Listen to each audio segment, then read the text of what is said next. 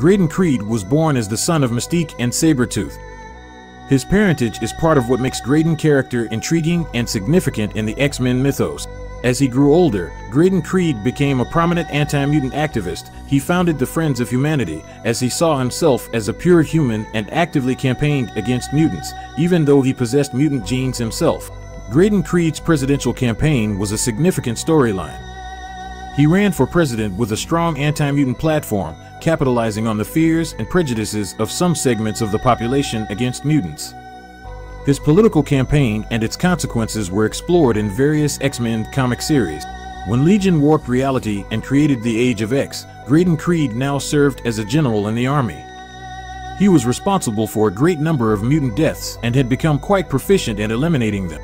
In the Age of Apocalypse, Graydon was one of the few surviving humans after Weapon Omega took power in Apocalypse's wake.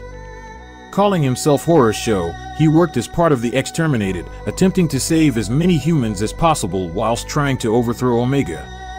When Sabretooth was depowered, Graydon found himself working alongside his father, something which he found hard to do, due to the years of abuse he suffered by him. When the reality was invaded by a group of primordial beings, Graydon was killed alongside his father as he tried to buy time for the others to escape.